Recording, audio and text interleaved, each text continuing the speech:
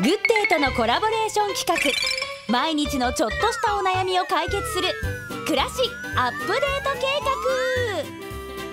画。今回のテーマはここまで進化しています。フックの世界。教えてくださるのはレックの竹下さん。グッデイならできる。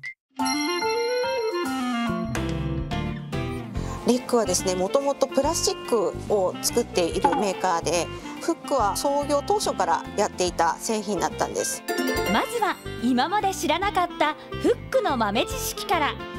実はですねフックはオランダのご家庭からヒントを得て作られた製品なんですね。国土が狭くて人口密度の高い結構狭い空間の中でどうやったら収納を効率的にできるんだろうというところで引っ掛けるという文化がかなり発達をしていたところに着目して始めました。というわけでフックの定番といえばこの吸盤タイプ。で本当に土定番っていうともうこちらにあるあの本当にお椀型の吸盤ですね。これがですねさらに荷重を上げるために進化したのがレバー式吸盤と言われるものですね。レバーを引いたら吸着するフックですよね。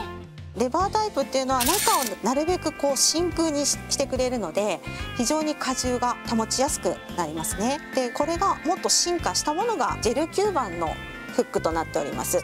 この柔らかいところがあのすりガラスとかの微妙な凹凸のところに入り込むような吸盤になっています。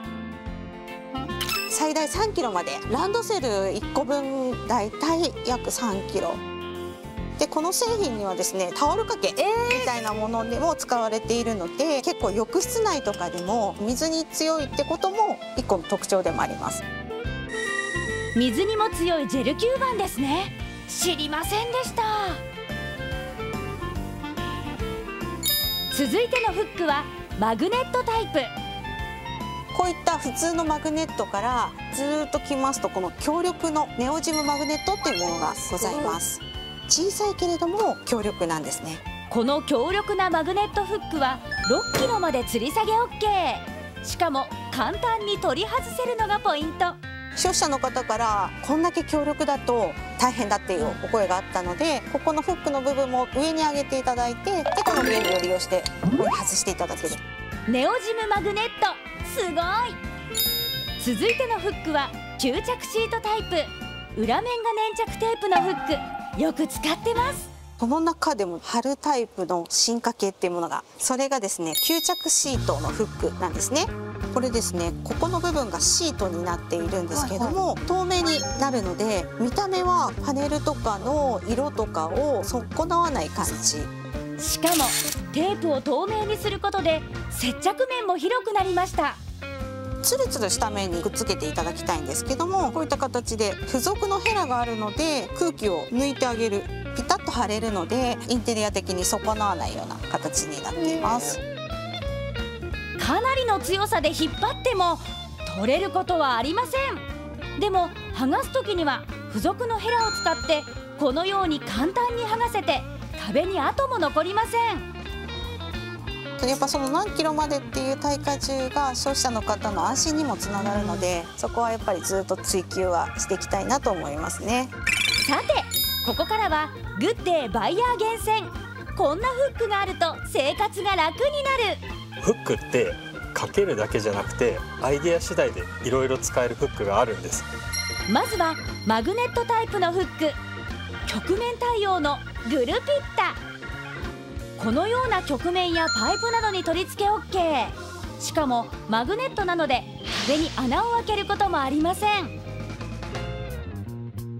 あとはまあこういった金属の柱とかの角とかに L 字で使えたりとかもできるんでフックって平面だけしか使えないっていうイメージがあるかと思うんですけどこれは不安定な曲面でも使えるよっていう。続いてこちらは押し込むだけでピタッと固定できるビス止めタイプのピタッとキャッチ。ほうきやフローリングモップなど柄の部分をローラーでキャッチ。簡単に固定してくれます。これ傘の柄なんかもうまく固定できそう。使い道も広がりそうですね。続いてお風呂場で使えるフック。浴室乾燥におすすめのバス用マグネット物干し。そうなんです。浴室ってフックをかける場所がないですよね。実は最近のシステムバスはマグネットがつくように金属で天井できてる。この強力な吸盤とマグネット2つの力を使ってより強力につくのでこれに付属のフックをかけたら物干しハンガーが完成。これを2つ使えば物干し竿だってかけられます。これは欲しい。続いてはですね大人気商品壁美人になります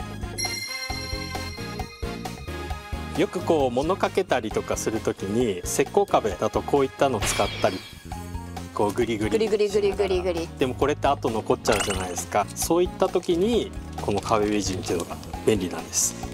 この壁美人。ビスや粘着テープを使わずになんとホッチキスを使って固定していくフック。上下に8つずつ計16箇所ホッチキスで留めていきますこんなホッチキスの使い方初めて見ました。しかも耐荷重が12キロとかなり強力。最後カバーをこのようにすればしかもこれですねテレビもかけようと思ったらかけられるんです。それにこの壁美人なんといっても取り外しが簡単で傷跡も目立たないのが特徴最近だとやっぱ賃貸物件が増えてるっていうのでやっぱどうしても穴を開けたくない傷をつけたくないっていうところにやっぱあのニーズが高まってるので少しずつ進化していろんな商品が増えてってます。フックって本当にいろんな種類があるんですね。早速今度覗いてみようかな。